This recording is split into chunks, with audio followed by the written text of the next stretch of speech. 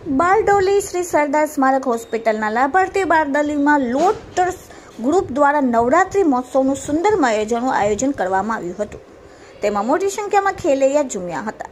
કોરોનાની મહામારી બાબત બે હજાર બાવીસમાં નવલી નવરાત્રિનું ગરબાનું આયોજન માટે પરમિશન મળતા ખેલૈયાઓમાં ભારે થનગનાટ જોવા મળ્યો હતો.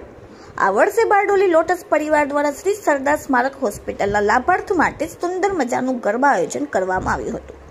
આયોજનમાં બારડોલીના આજુબાજુના ગામડાઓમાંથી મોટી સંખ્યામાં ખેલૈયાઓ ગરબાના તાલે ઝૂમ્યા હતા.